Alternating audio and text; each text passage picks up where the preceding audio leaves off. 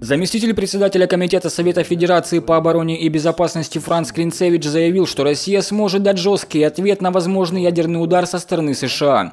Таким образом, сенатор отреагировал на заявление первого замначальника Главного оперативного управления Генштаба Виктора Познихера.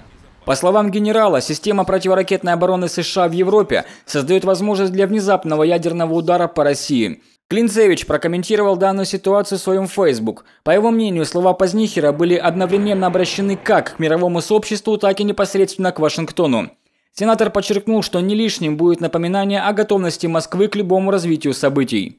Послан ясный сигнал руководству США, что любое развитие событий не станет для нас неожиданностью. Думаю, что это напоминание не будет лишним.